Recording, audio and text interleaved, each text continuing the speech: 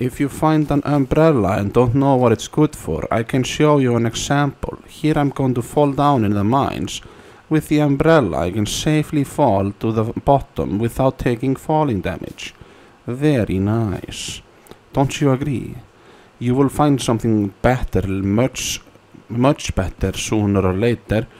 But the umbrella in the beginning is like a crappy falling safety.